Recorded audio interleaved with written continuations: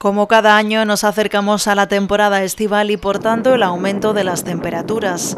Para prevenir desvanecimientos o golpes de calor, los profesionales nos recomiendan estar siempre hidratados y no salir a la calle en las horas centrales del día. Seguir las normas básicas de todos los años, es decir, hidratarnos muy bien, abrir las ventanas para ventilar por la mañana y al atardecer, evitar las horas centrales para que no nos entre el calor dentro de la casa, no hacer ejercicio físico ni esfuerzo físico en horas centrales del día, por ejemplo, de 11 o 12 de la mañana a 5 de la tarde o 6 de la tarde, son las horas que más calienta el sol. Entonces, intentar evitar.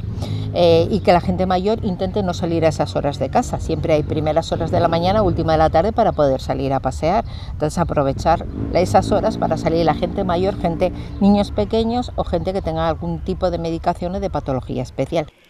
El calor provoca en nuestro organismo distintas complicaciones. En los casos en los que la temperatura de nuestro cuerpo supere los 40 grados, se pueden dañar rápidamente el cerebro, el corazón, los riñones y los músculos.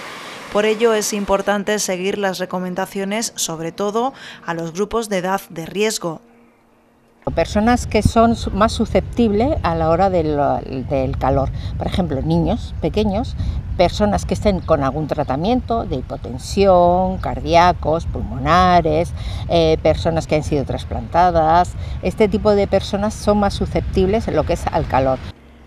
Además de las personas mayores que tienen menos sensación de sed y pueden deshidratarse más fácilmente y llegar sin darse cuenta a sufrir el llamado golpe de calor.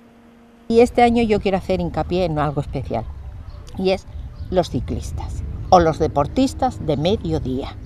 ¿Cuántas veces voy yo cuando salgo de trabajar a las 3 de la tarde, voy para mi casa y veo a ciclistas a las 3 y media de la tarde? Ahora mismo hace un día muy bueno hoy, pero dentro de nada estamos ya a mitad de finales de junio o julio. Eh, entonces vamos a ver, en esos de julio y agosto hace muchísimo calor. Entonces a las 3 y media, por favor, son unas temperaturas sumamente elevadas como para hacer deporte cuando hay otras horas del día. Por favor, no hacer deporte ni esfuerzos físicos a esas horas puntuales del mediodía. Si no hay más remedio que salir en esas horas de calor, es imprescindible estar bien hidratados en todo momento, bebiendo agua o zumos, evitando bebidas alcohólicas, pues producen más calor en el organismo. Y si vemos que alguna persona, por lo que sea, está con un golpe de calor, una insolación o golpe de calor o por un agotamiento de calor, por favor, lo que hay que hacer es eh, mojarlas bien, hidratarlas bien si están conscientes y si vemos que no recuperan conciencia, llamar al 061. En los casos severos en los que la persona no reaccione, debemos solicitar atención médica urgente.